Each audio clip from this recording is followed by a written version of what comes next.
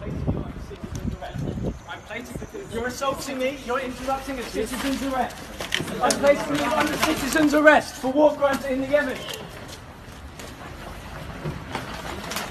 You're assaulting me, sir. You